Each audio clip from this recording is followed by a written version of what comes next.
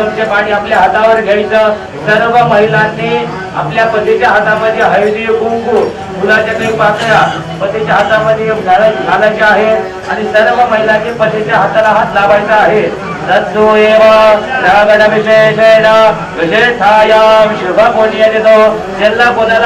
जर गोत्राचा उच्चार करायचा गोत्र जर माहीत नसेल स्वतःच्या नावाचा उच्चार करायचा आपल्या धर्मपत्नीचं नाव घ्यायचं सर्वांचे पाठीमागे म्हणायचं म्हणायचं असमेनं